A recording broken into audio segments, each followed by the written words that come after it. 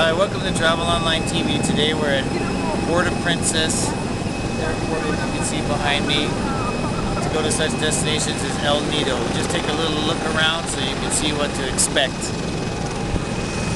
So, as you arrive here, first time, you can see it says Puerto Princesa Airport. And over here is the arrival, and as you can see how the people are coming in off the plane. Came in on Cebu Pacific. You can see all the people. Helicopter in the background here. This is where you could probably get a charter flight to fly to El Nido or take a ground transfer. So this is just to give you an idea of the Puerto Princesa Airport. Brought to you by Travel Online TV.